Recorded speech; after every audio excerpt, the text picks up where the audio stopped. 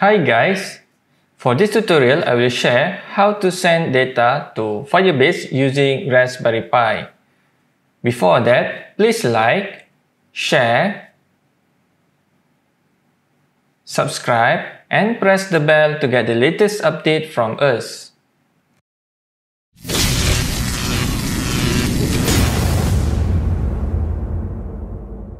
I'm using Raspberry Pi 4 Model B Maker pHAT, non-contact temperature sensor MLX90614, and USB-C adapter. Of course, you need an SD card with the latest Raspberry Pi OS. There are four connections for this sensor.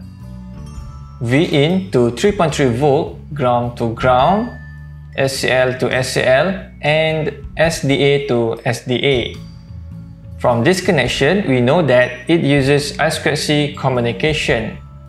Next, I remote my Raspberry Pi through SSH using VS Code. We need to enable I2C module in Raspberry Pi. Write sudo raspi config. Choose interface options, I2C, yes, and OK. Then we need to restart the Raspberry Pi. Write sudo reboot. After reboot, we can verify again if the I2C have been enabled or not. Write this command.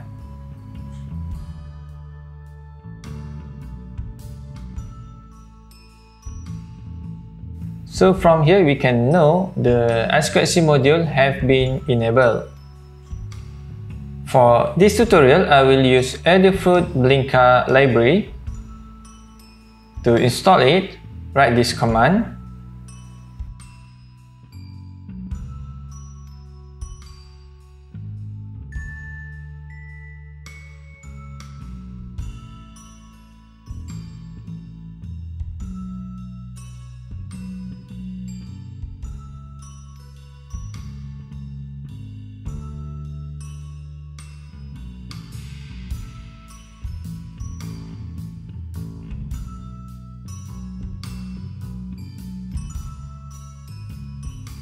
Then we will install library for MLX90614.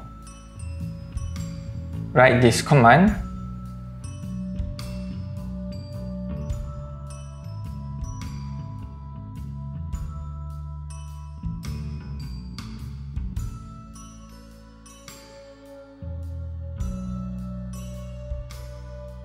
Last but not least, we need to install Firebase library for Python called Firebase. Okay, write this command.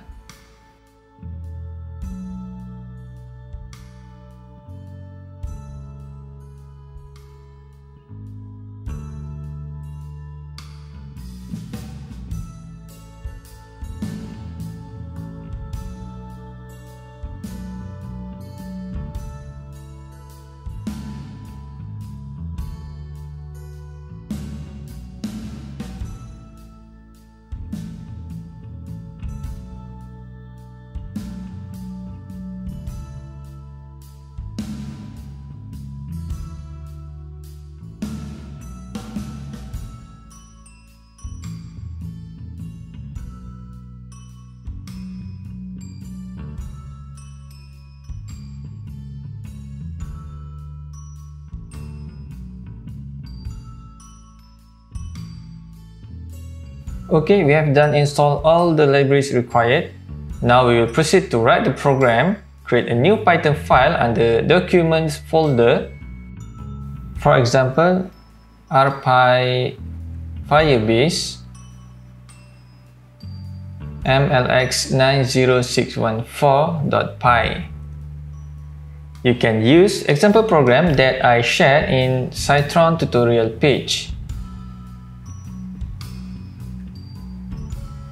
There are few parts you need to replace. First is your Firebase database secret. Go to your Firebase. This is mine. I put the title of RPi MLX90614. Find the database secret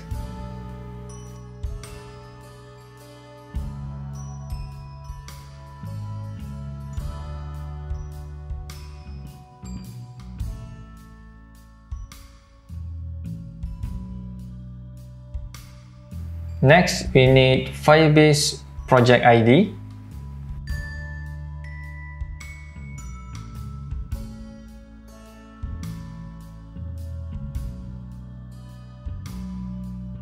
And the last one is database URL. Go to real-time database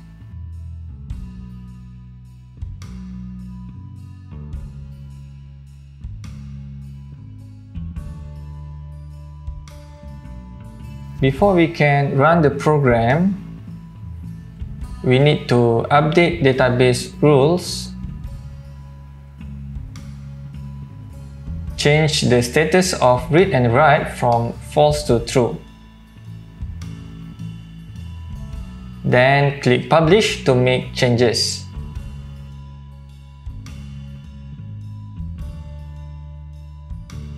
Okay, now I will try to run the program. Right click on the file and open in integrated terminal. Write Python 3 and the file. Oh, I forgot to save the file. Let me save first.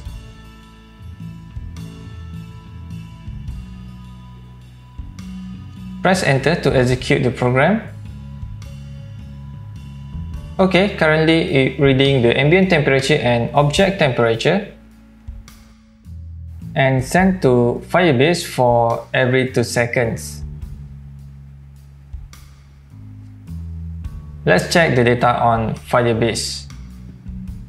Okay, the data have been stored here. New path is created called MLX90614. Under this path have another two childs called set and push. For set, the data keep updating in the same location. You can see it changing for push, it keeps creating a new path with a unique code and store the data inside it. If you need a data history, you can use push method. If you just want to see the latest data, you can use set method. So that's all for today. I'm Idris from Cytron Technologies. Good luck and thank you for watching.